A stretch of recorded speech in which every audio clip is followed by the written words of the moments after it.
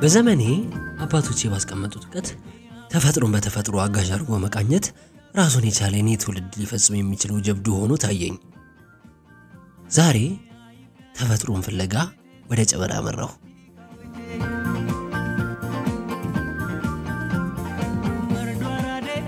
የጨበራ ብሔራዊ ጥብቅ ስፍራ ብቻውን አይደለም፣ በውስጡ ብዙ ሕይወትን አስጠግቷል።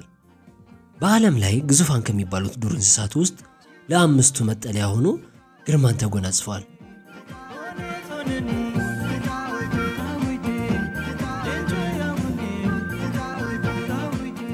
በዚህ ጉዞ ዝሆንን ለመመልከት በምንጓዝበት ወቅት ተፈጥሮን አጋዥ የምናደርግበት ጥበብ እጅጉን ይደንቃል። የምናደርጋቸው ጥንቃቄዎች፣ መውጣት መውረዱ፣ መውደቅ መነሳቱ፣ ፍርሃቱ፣ ትዕግስቱ፣ የአራዊቱን የቁጣ ድምፅ እየሰሙ በትዕግስት እነሱን ለመመልከት የሚፈጸሙ ተጋድሎች ትልቅ ጀብዱ ናቸው።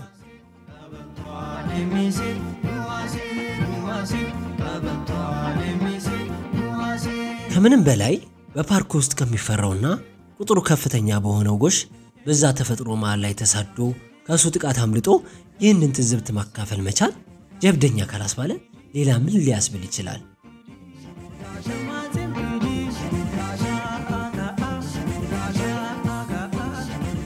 ተፈጥሮ የራሷ የሆነ ትንግርት ቢኖራትም የጨበራ ብሔራዊ የጥብቅ ስፍራ ግን ያለው የተፈጥሮ ስብጥር ምድራዊው እንዲህ የሆነ ሰማያዊ እንዴት ይሆን ብሎ ጥያቄን ያስነሳል።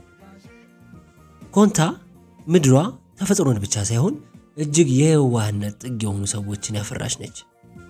እንዴት ብትሉ ለእያንዳንዱ ነገራቸው ሁሉ ፈጣሪያቸውን የሚያስቀድሙ ሰዎች ናችሁ። ስለ ኮንታ ሲነሳ ድምፀ ወንድዬ እንየን ሂድ ተባባሉና ኮንታ ላይ ቀሩ ኮሽካ ገቡና ያለው እውነቱን ነው። ኮንታ ከገቡባት ታስቀራለች።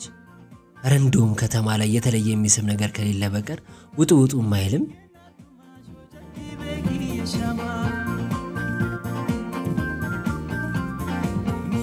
የእኔ ትውልድ ሆይ በዘመንህ ጀብደኛ መሆንን ከፈለግ ወደዚህ ስፍራ አቅናና ተፈጥሮን ታዘባ ትላለሁኝ።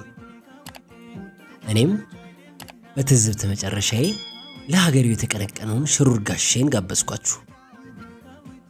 ቸር ቆዩ።